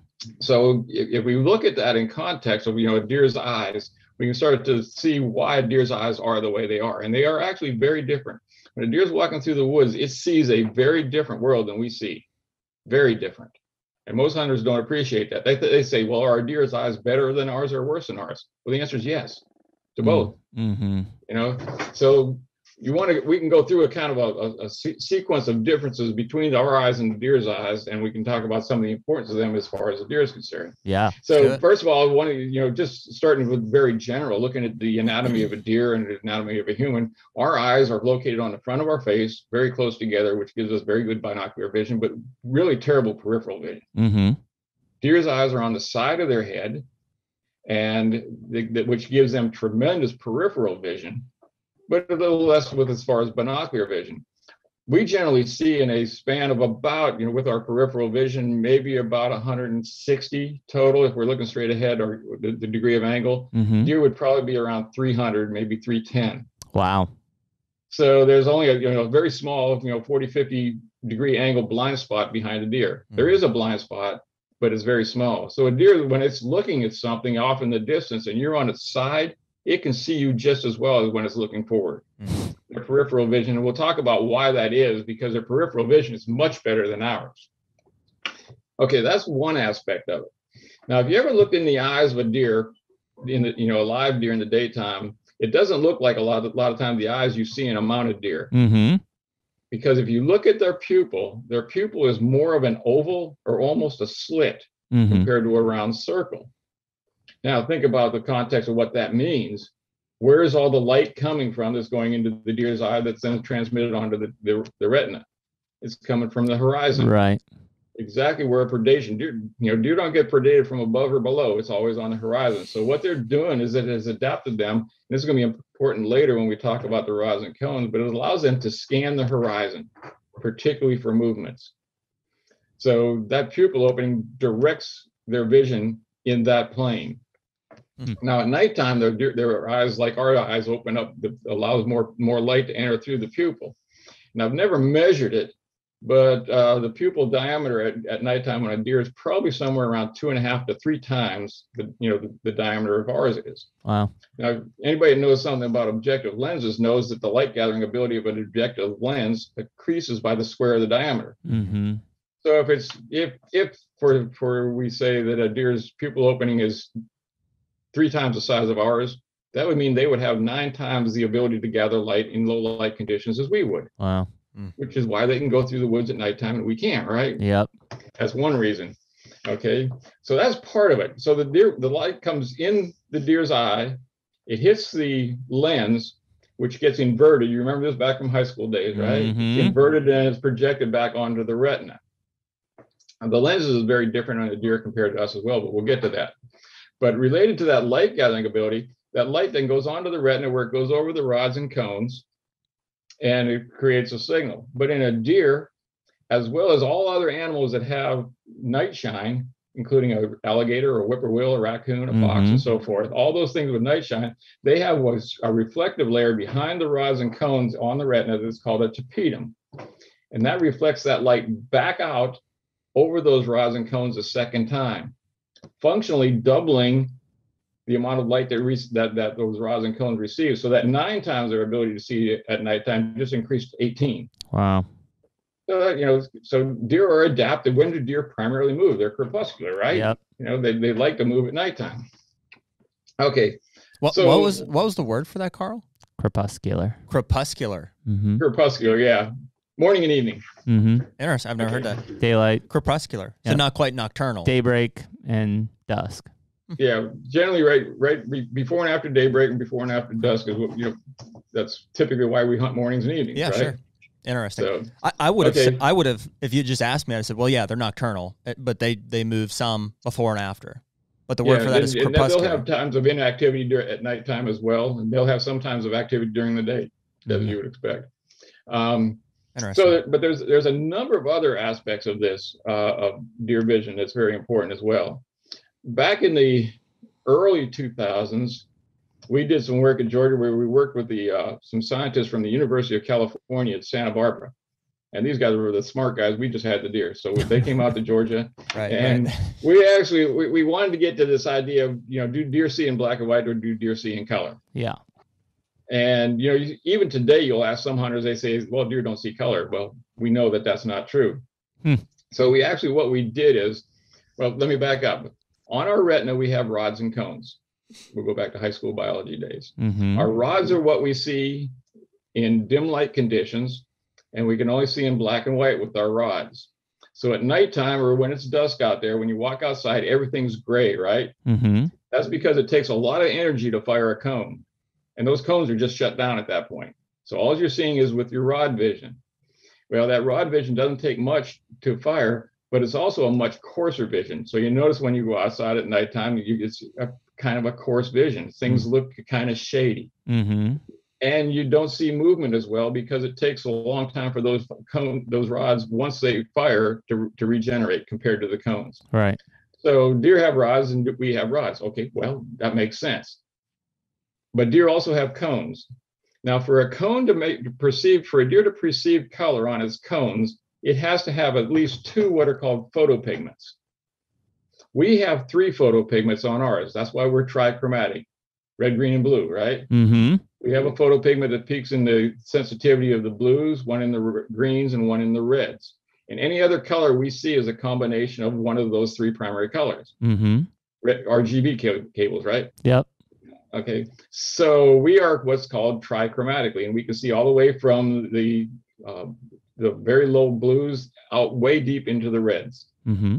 That's part of the electromagnetic scale that we see. So we went into the deer's eye to identify whether or not they had photopigments in there um, and what they were. And it turns out they have two photopigments on in their eye, one that peaks in the sensitivity very similar to our blues, and one that's kind of halfway between our reds and the greens. So instead of seeing trichromatically, this infers that deer can see dichromatically. They see basically in two colors. In a human equivalence, it would be very similar to somebody that was red-green colorblind Mm-hmm. because they have the blues and they can tell the blues from the longer wavelengths, but they have a hard time telling the difference between green and reds. Mm-hmm. So picking a ripe tomato off a vine, I have a son that's colorblind. That's kind of hard for him to do, you know. Right. So, you know, so they they see dichromatically. Well, that's based on physiology, but physiology doesn't tell you the whole picture. So subsequently to that, I had a graduate student named Brad Cohen who worked on this as far as his master's degree. But we wanted the deer to behaviorally be able to tell us what they actually see as far as colors. And he developed this really neat system of training these deer to an automated system that we could record a lot of data from a lot of deer very quickly. And work with Eveready energizers to get LED. We actually had LEDs uh, produced specifically for this research that had very specific spectral signatures. And we could, with a food rewards type system, we were able to track whether a deer could see, you know, if a color is shown on the screen or not shown on the screen. Hmm. And it turns out it was came out almost identical to what we thought it would be with the photopigments. Other than compared to a human, a deer's ability to see in the blues is extremely enhanced. Hmm. Almost 20 fold our ability to see in the blue. Now, why is that? It's related probably to two things. They got much more distribution of the blue cones in their in the in their retina. That's one aspect of it. Is, but the other aspect of is we're a long-lived species. So in our lenses, we have a yellow filter, and that yellow filter filters out some of the ultraviolet light, but obviously some of the blue lights as well. So a lot of the light that's coming through that's blue doesn't make it to our retina. Mm-hmm. Deer don't have that. Hmm. So their ability to see blue is incredible. So why is that important? When you walk out in in the morning or the evening, what's the most common ambient light out there? Everything kind of seems a little bluish, right? Yeah. And they, that blue continues into the nighttime. Mm-hmm. So there's a lot more blue light than there is are the, the longer wavelength light, lights at nighttime. Mm-hmm. And that's when the deer are adapted to move, right? So they're very in, in tune to that blue, and that blue gives them some ability to detect movement by those cones that require a lot of energy. Hmm. So let me see where we go with this. So it, on that part, Karl, are you basically saying that a deer can see blues, quote unquote, bluer?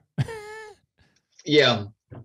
So like if I Here's the walk out of- in blue here's the way of jeans, here's the way of kind of getting an idea of what this is. Yeah. Have you ever been out on a deer stand? Do you ever wear blue, blue jeans to a deer stand? yes. After this, probably you never want to again, right? Yeah, because right. they see that well. But if you look at some of those blue jeans, particularly if you wash them in a detergent that had whiteners and brighteners in them, Yep. and right about dusk, look down at your legs. It almost looks like they're glowing. Yes. Picture what that would look like to a deer. Hmm.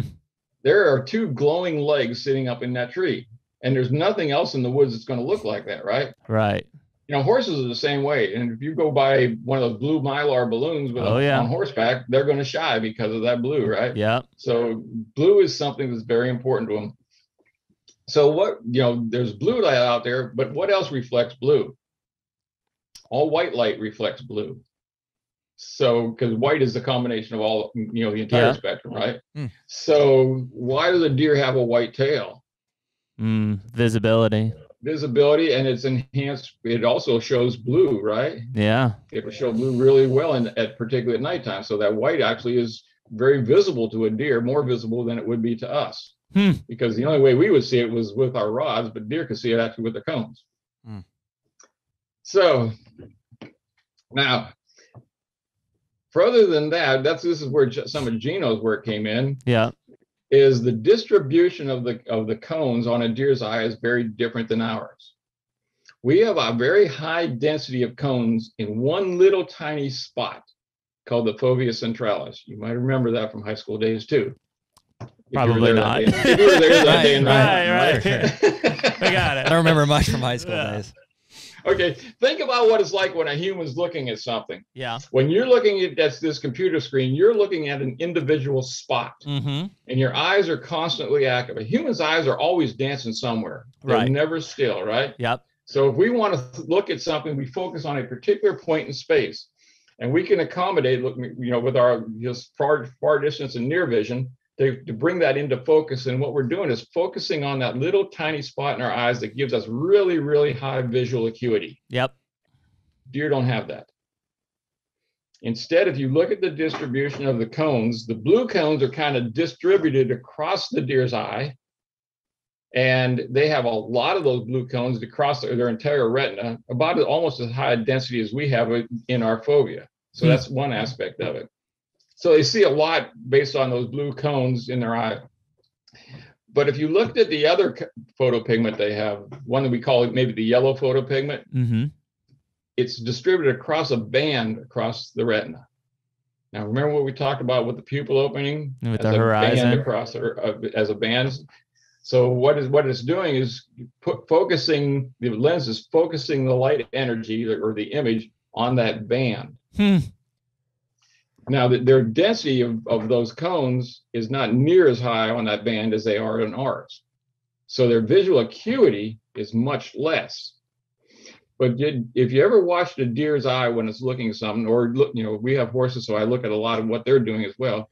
When a mm-hmm. horse is looking at something, they've got their head up, but their eyes never move. Right. You know, they could be watching a car go down the road or something like that, and they're just looking like this, and then all of a sudden they'll go like this Yeah. you know they may move grossly but their, their their eyes don't track things Hmm. instead they hold their eyes stationary and what that does is cause the image to move across that streak in the retina Hmm. which gives them tremendous ability to detect movement Mhm. because they're engaging new cones as that thing's moving Right. so basically a movie's being played out across their retina they're not having to track it and this kind of comes into play with predator avoidance but also think about a deer running through the woods Yeah. we run through the woods, we have to fall, look at every stick, twig, tree, you know, Yeah. so we don't trip over that rock and stuff like that. Our eyes are const- constantly trying to find all this stuff. Mhm. This kind of plays as a movie as the deer is moving through the woods. It just plays across their entire retina, Wow. and they don't ever have to move their eyes, which is pretty cool as heck, isn't it? Yeah. So their ability to detect movement is is really really enhanced. But that it comes at a, a cost because their visual acuity really stinks. So it's blurry. Yeah, because you know, well, it's not necessarily blurry. It's movement creates acuity Yeah. in them. Yeah. Yep. So you've always had that. You always had that experience where a deer walked up to you, or he looked up at you in a stand. A human would look up and say, "Oh, there's a human sitting Yeah. on that stand." What's the deer say? I don't know what that is. Yeah. Yeah. Or if you walk out into a field and you look at the other end of the field, there's a deer standing down there. They And don't you can tell what it is. What's the deer do? Starts shifting his head side to side, trying to Trying figure to- out, get, yeah. get you in 3D and stuff like that, and get you to move. Yeah. Mhm. And once they once you move, then you then you're busted, right? Yep. So stationary objects, which means stay stationary when you're in a stand, uh, because they can pick up the slightest movement. Hmm. Um, it turns out we did some work. Uh, I had another student who's uh, now uh, Dr. Erin Watson. She got her PhD at Tennessee, but under her master's program here, she actually looked at visual acuity in the deer. And it turns out that they probably see somewhere around a, a 20, 40, 20, 60, maybe even worse. They'd almost have to wear glasses to see Hmm. uh, to drive at a stationary object. But if it was Yeah. moving, But if it's moving, it enhances that ability, right? Hmm. Okay. So here's another aspect. Man, there's so much stuff in here. Um, our ability to see blues is based on our the, the cones that, that we have in our fovea. Mm-hmm. And if we get more than about 20 degrees off center in our peripheral vision, we can't identify a blue. You know, take a blue pen and hold it out here to your side, you won't know it's blue, right? Right. A deer does. A deer does. It sees it's blue all the way around. Hmm. So they're what they have in focus in their periphery is as good a focus as what they're looking at with straight on. So they may only have 20, 60, 20, 80, you know, acuity, but that's 20, 60, 28 acuity is across 300 degrees, Yeah. which is pretty impressive, right? Yeah. Mhm. Literally almost ear, eyes in the back of their head type of thing. Right. All right. Let's add one more aspect of this thing. Okay. there's a, a concept called a flicker fusion rate, which means that's the rate at which your mind or your your your your visual and uh, your visual system can process information. Mm-hmm. You've probably seen these things where they have this flashing ball on a computer screen. It gets faster and faster and faster to a point that Does- it turns into a solid. Yeah, it doesn't look ball, like it's moving. It's yeah. still it's still flashing, right. just like the old TV screens. They were flashing, but we our eyes couldn't see it because our eyes couldn't reconstitute fast enough to it looked like a solid object. Mm-hmm. Well, we also had in a preliminary study, and we got a you know we got a student. Uh, Gino's got a student uh, finalizing this work, but in a preliminary study, it looks like a deer's processing ability is probably four, up to four times ours. Whoa. So they can see move, they can process that, that information four times as fast as we can, which means everything appears to be to them to be in slow motion Hmm. compared, Huh. compared to us. Wow. So even if we think we make like a sharp move, like real quick when they're not looking, essentially they're processing in the peripheral in slow motion. they're, they're processing across their entire eye, whether they're peripheral or, you know, their whole processing is, is so much faster. Which think about it, they have to be. They got to run through the woods. Yeah. Yeah. They got to be able to process that information fast. They have to be able to react. That interferes with acuity. So that, that's what they gave up. They gave up the ability to have really acute vision when it comes to Wow. identifying a stationary object, to have very good vision when it comes to a set using movement. What what is the word for that ability to perceive it four times faster? It's called a flicker fusion rate. Flicker fusion rate. Right. Interesting. Yeah, and, and, and there's you know there's there's a whole bunch more aspects of that stuff, and uh, this this student that Gino has, uh, Blaze Newman, is doing some fascinating work at the deer barn right now. Uh, I mean, it makes sense, right? If a deer is hauling ass through the woods and there's trees that it's dodging, it has to be able to react faster. I mean, we couldn't run through the woods that fast and react that quickly. It, think about this: you always hear about a deer jumping the string, right? Yeah. And pe- pe- people put silencers on their bow. Yeah. Is it is it the sounds getting there, or the deer detecting the movement? Holy balls.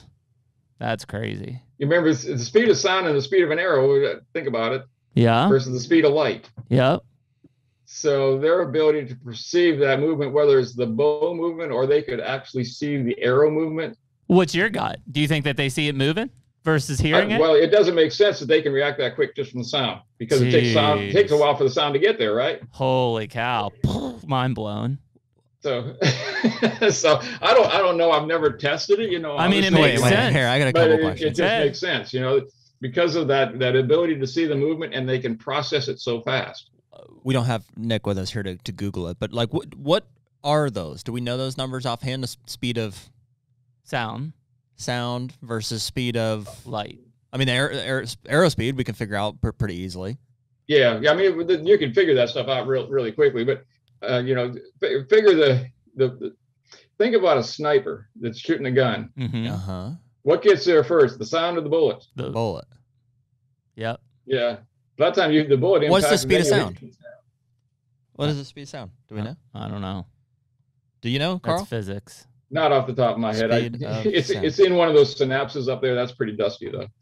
I mean, it is interesting in terms of, yeah, I mean, obviously, dry Sniper's a great example in, in terms of, you know, that bullet gets there far beyond, you know, the sound getting It's there. it's roughly 300 and between 330 and 340 meters per second is what I'm seeing.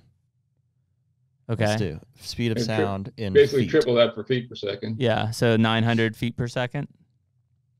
A thousand and eighty-seven Feet per second. feet per second. Yep. Speed of sound. Which would be So your sound's getting there. slower than most uh, bullets. but faster than all arrows. Correct. Yeah, but not that much faster. Yeah. Quite a bit faster, right? Hmm. Your arrow's 300 feet per second. Yeah. So say they're- three so they would hear- faster.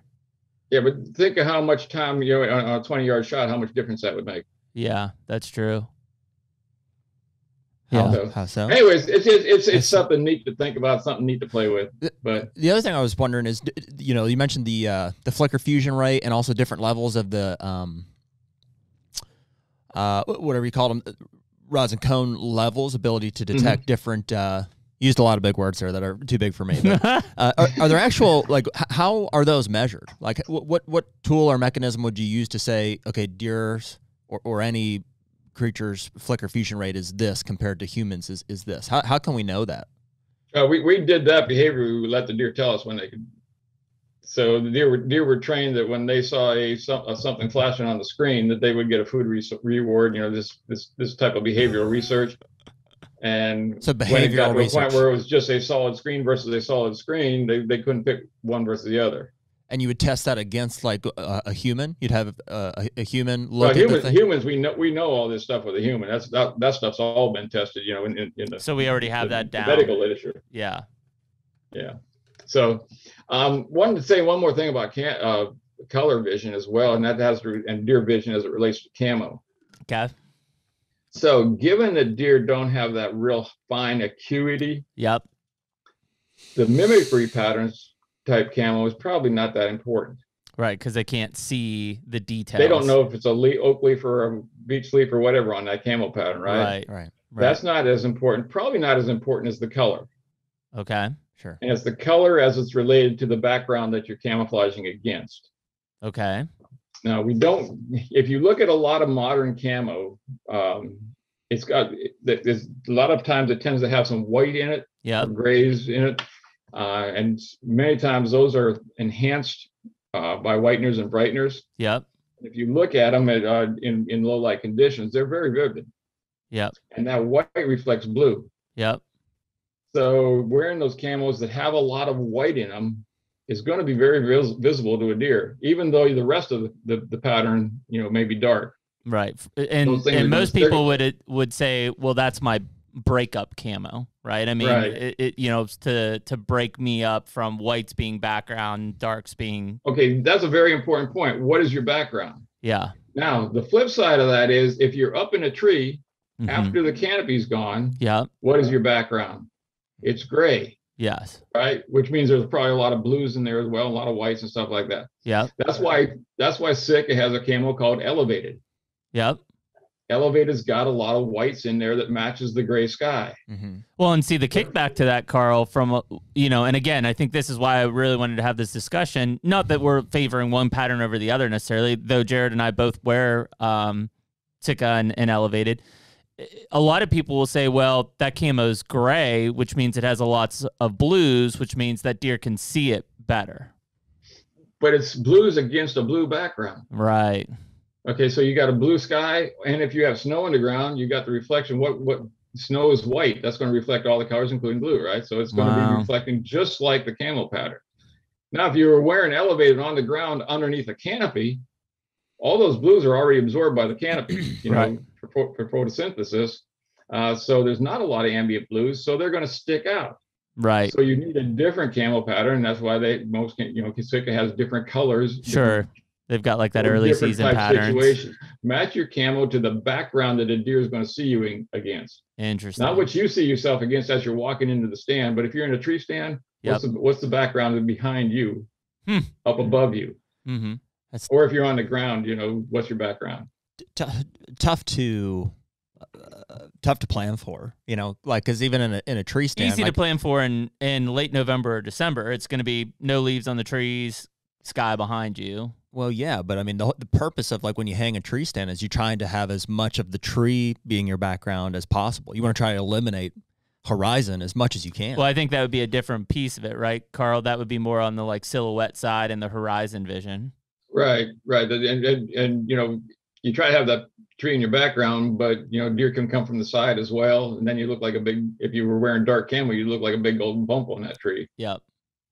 So Whereas if you were I- I- if you were grays and they looked to the side and the sky was still blue, Well, that's why I'm saying it's tough to plan for because if they're looking at you the way that you plant you hung the stand for, they're going to see a big blue ball in front of a dark tree, right? no, they're going to see they're going to see something that looks like the sky right through that tree. It's almost going to look like a break in the tree Mm. more, more than anything. yeah, Interesting. versus like Yeah. just a spot in the tree.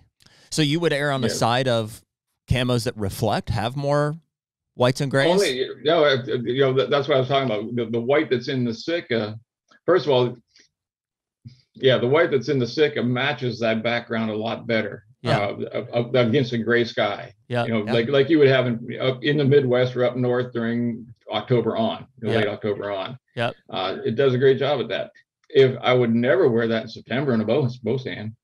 right. Because there's no it's the closed there's no- canopy. because there is no blue. You got canopy, background. right? I So you want something different. You want to either match the tree or match the canopy, right? One of the two. hmm Would you both. would you want to?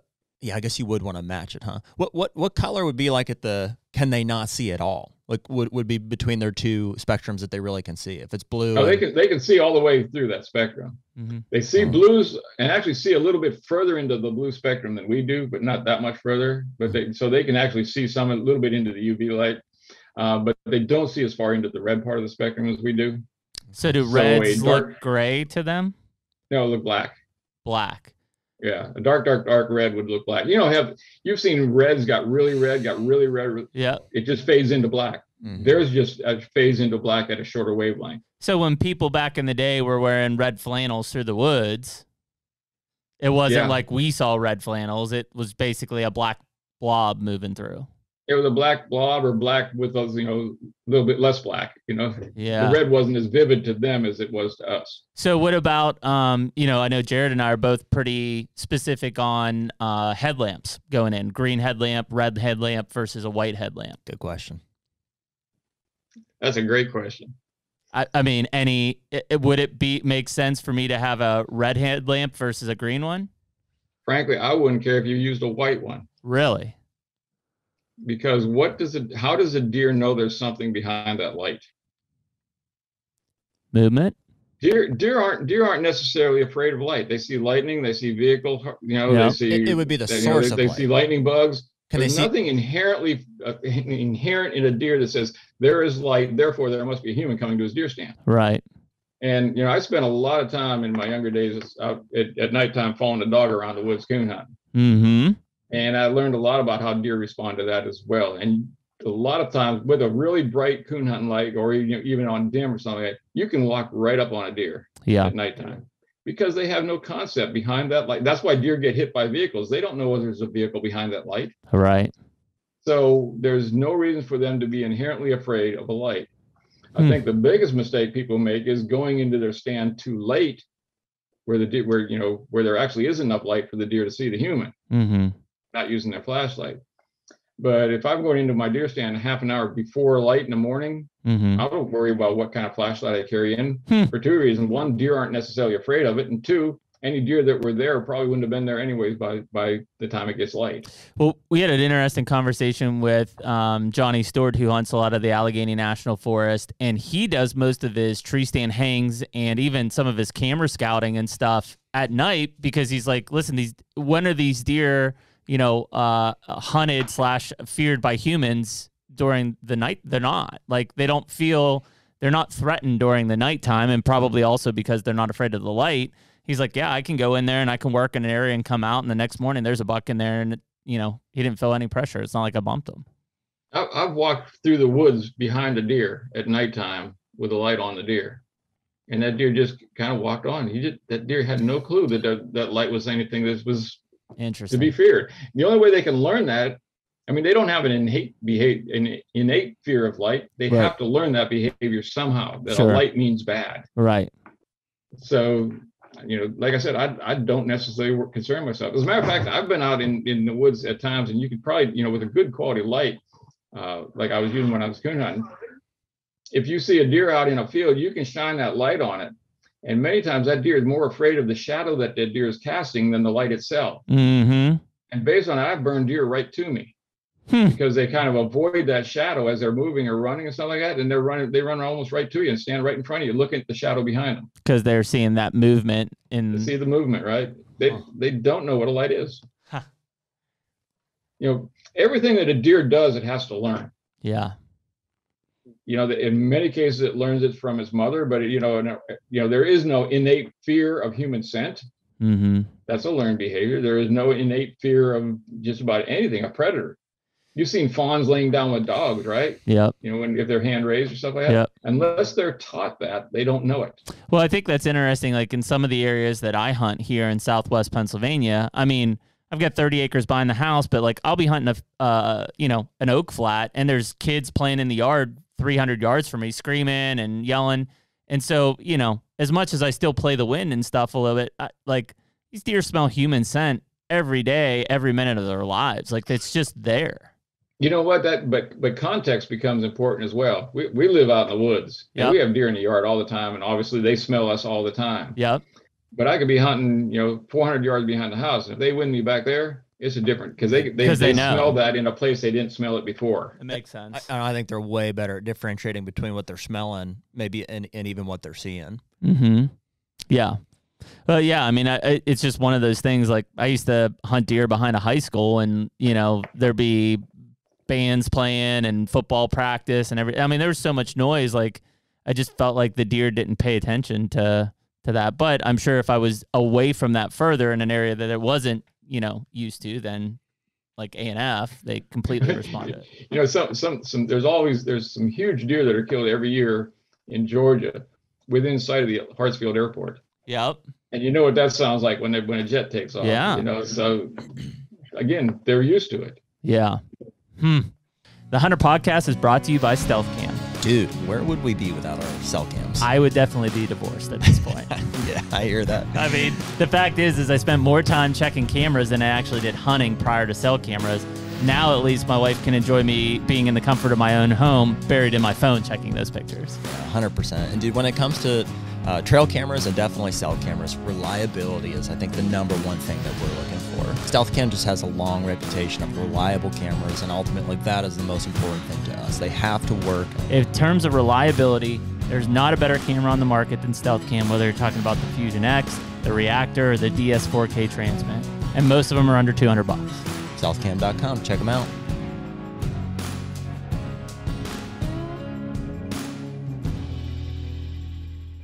I think the vision thing is the one that you know, and it's not picking on any any company or pattern more than others, but I mean, think about the camouflage market in the last what forty years. I mean, and how much number one, how much money's been made.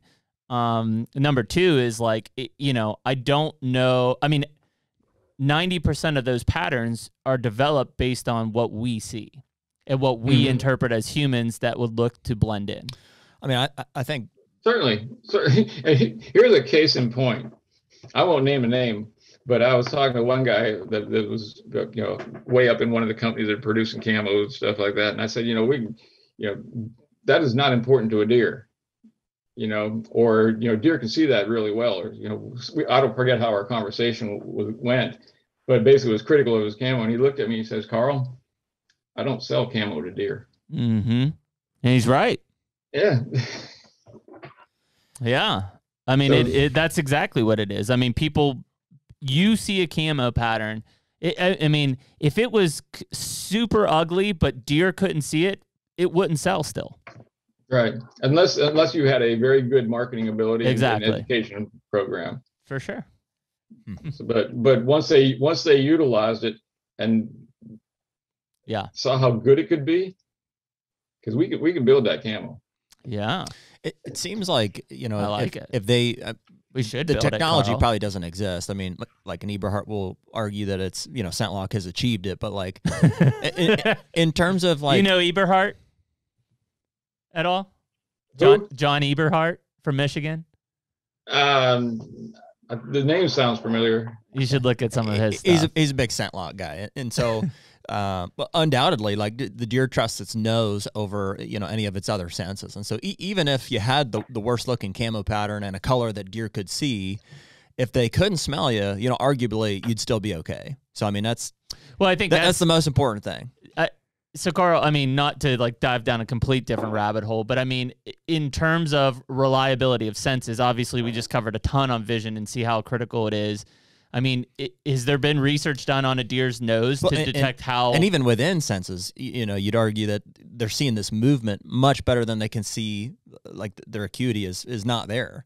So if you could if you could design a camo that eliminated scent completely, obviously would be first and foremost, and and two, eliminated their ability to see movement. hmm which is hard. I Well, mean, well, that's why you're. I don't know how you well, you're in a box blind. That's why you eliminate their ability to see movement. You send a box blind or a ground blind. Sure. Okay. Bottom line is you can't do either.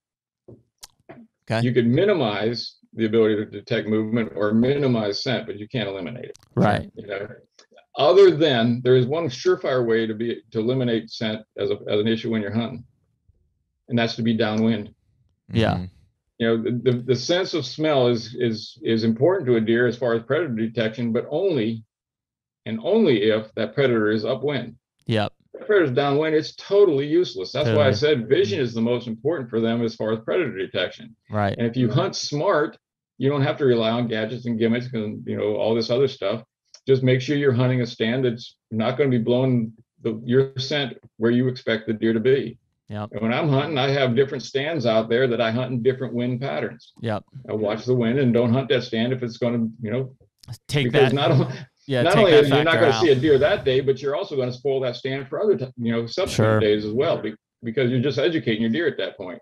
So you know, hunt smart. Don't ju- don't rely on gadgets. Just hunt smart. Right. But, which is it's complicated when when you start to realize that you know that especially mature bucks will will uh, uh, you know approach downwind they are they are trying to move in a way that they can smell most of with they're sm- smell everything and, and Yeah, but they can't, they can't do that all the time. Or you know, if deer always walked upwind, they'd all end up in Washington State. sure yeah. Sure. Right? You know, they they they've got to go against the, against the wind sometimes, or Yeah. with the wind sometimes. Yeah. Karl, on the vision side, you know, obviously uh, from a hunting standpoint, we only care about from sun up to sundown, basically, and you know the thirty minutes before and after. Uh, like as deer, or let's say on a on a bluebird sunny day, I mean, how what is a deer's vision like happening during those time frames? Like it feels like it'd be so bright, it would almost be overwhelming to them. Now, now remember that they they've got the ability to, to close that pupil opening, Okay, so they're they're limiting the amount of light that's actually entering into the eye. gotcha. But they're also focusing again on the horizon. Right. Hey, you know what else? There's another neat thing about this as well. This whole thing about the deer's eyes and that, that slit vision. Yep. uh, or the horizontal vision. Deer have an ability to do what's called cycloversion. So if you look at a deer's eye when it's looking this way, and its pupil opening is kind of in an oval shape on the horizon, what Mhm. happens when a deer puts its, its nose down to the ground? So now, yeah, perpendicular. You would think it would go like this, Yeah.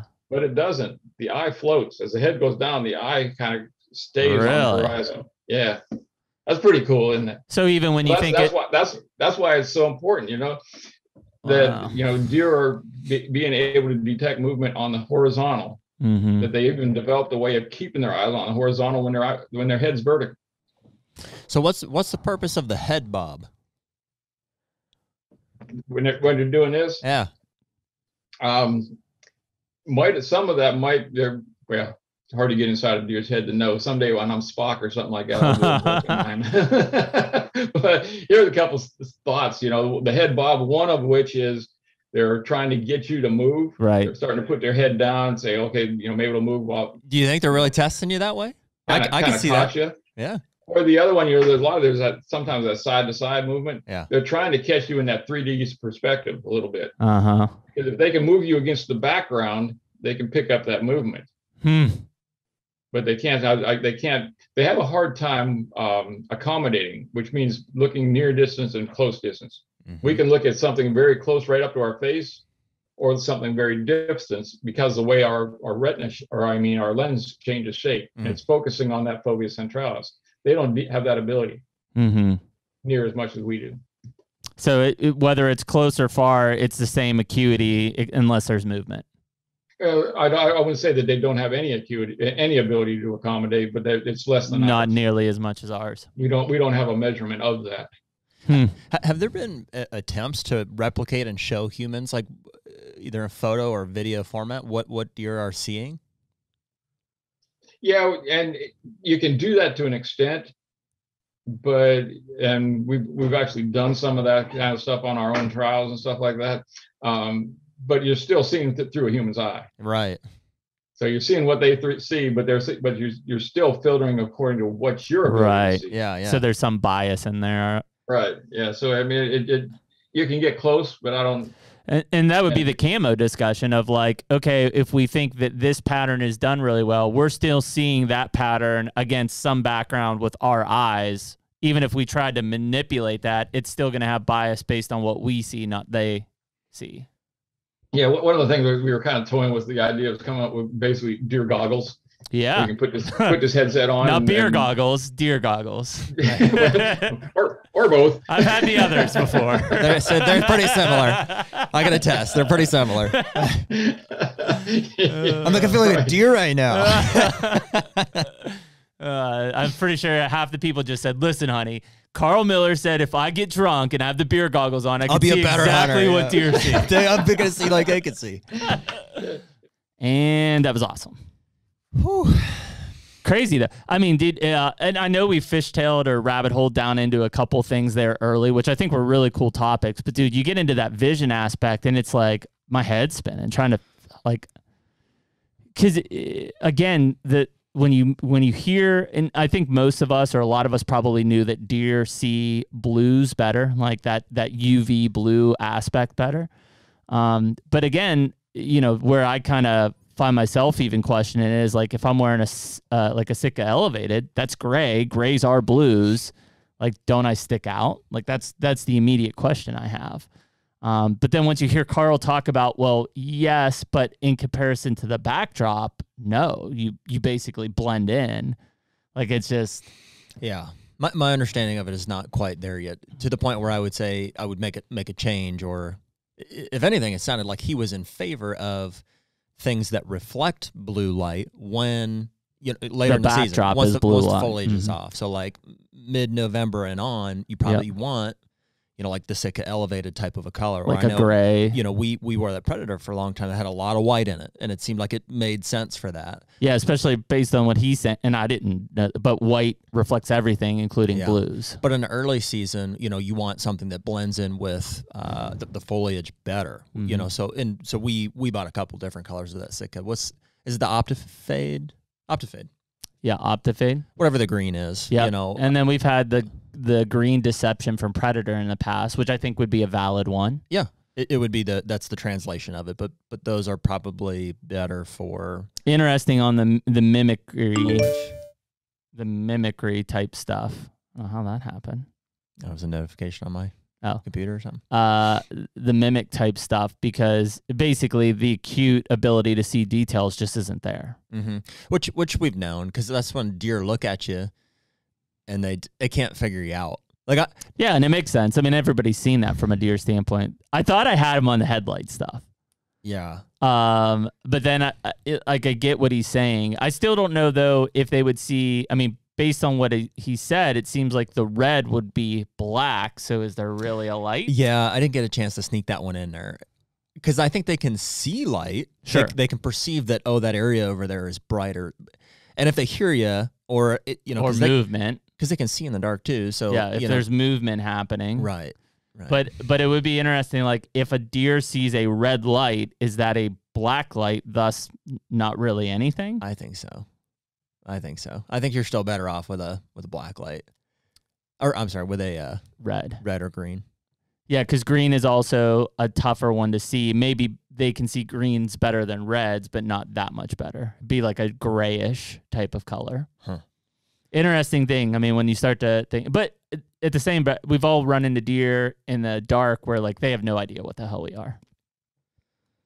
Yeah, They don't like us. they see it there. It ju- it it, it goes back more. I think you touched on our conversation with Johnny is just that their comfortability at night. Like I think they perceive that we can't see that well in the dark. hmm Yeah. Well, they just, you know, I'm they sure. just feel more comfortable. Unfortunately, some deer are getting shot at night illegally, but for the most part, the threat doesn't happen until light occurs. Right. And even those deer that are getting shot at night, like I, I don't know, they, I don't think they know. Like they, all they know is loud noise. Yeah. Uh, Alan's gone. Light, loud noise. He's dead. What just happened? I don't even know if they can perceive that. Uh, that's interesting. I don't know if they can perceive the deer are dead or are no longer. If they think about that, if they're like, what "Hey, happened to Alan? What happened to the guy? I don't know. He just disappeared. yeah, I'm not sure, but I don't know. Cheryl. She was really nice. yeah, I, I think there's a lot of stuff there. It, it does. Um, I mean, eh, the big things, and again, not surprises. Uh, be downwind, um, critical, and I think if anything, beyond the patterns and colors is movement. Is movement. And dude, think yeah. about well, just what we were even talking about in the in the intro on like me shooting a recurve. There's a lot more movement I think that happens in a recurve than like, uh, you know, just because it's it, like once I start drawing, I'm gonna shoot. You know what I mean? Versus like if I draw back on a compound, I could hold it there and not move. I think you'd be better off with a recurve personally. Just in that one. It's just a more motion. condensed movement. Yeah, because because because when guys get uh, probably the, the the main time guys get seen in a stand is at full draw. Like at, once you come to full draw, they catch they catch a little movement and then they stare at you. Well, per what he and then you saying, can't help but move, and then they pick even you though off. you like uh, like think about when a deer walks behind a tree we're like boom let's let's well he's telling me that it's basically they're seeing that in slow motion because they're able to process it so fast Mhm. So even though we think we're drawing super quick that they're not going to see it it's like slow motion so if they catch any movement they're seeing that happen Yeah, that's an interesting. Uh, that, that what is it? Flicker, fusion? flicker yeah flicker fusion? right right? right Uh, Did you- it's it's yeah. interesting to try to perceive what that looks like because it's not like things are literally moving faster or slower. It's just their perception of They're it. just and- processing it. and ability to react to it is so much faster. So like if a deer's running through the woods and there's a tree in front of them, they're seeing that and being able to process and react to that thing much faster than we are. I wonder what their because that that's that term relates to the vision aspect of it. I think it's a process vision, like the brain. Right. So what would be the counterpart that relates more closely to hearing? You know, because we talk about duck and Mhm. arrows. It doesn't seem like per The calculations. Yeah, it was like what, 1030? Th- over a thousand feet per second was the speed of sound. A bow is shooting no more than three, 340. yeah. So I mean, even a so crossbow they're definitely at 500 they're, def- isn't they're doing definitely it. hearing it before it gets there. There's no question. They're hearing it before it gets there. but are they Can they per- seeing it before they're hearing it? Well, and, and in that same breath, if they're hearing it first, can they hear and react faster than we can hear and react? That would be the question. Like if we hear the sound and react, if they're able to Right. visualize and react faster, four times faster per Karl, could they hear and also react faster? Like, is that all brain stimuli, I guess? Because if so, then yeah, they could jump the string based on the sound, react. It'd be interesting to see all that on a spectrum in terms of visual, sensory, Mm-hmm.